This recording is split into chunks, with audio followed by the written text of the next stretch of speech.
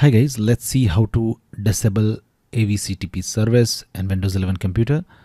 Just click on the search icon on the taskbar and then search services. Now click on services from the search result. Now locate AVCTP service from the list. Right click and then click on properties. Now click on stop to stop the service and choose startup type as disabled. Then click on apply and click on OK. And that is how you have disabled AVCTP service in Windows 11 computer. To enable it again, if you want to enable it, just right click and it again and click on properties.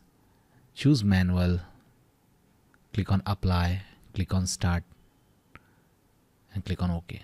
That's it guys. Please do like the video and subscribe to our channel for supporting us.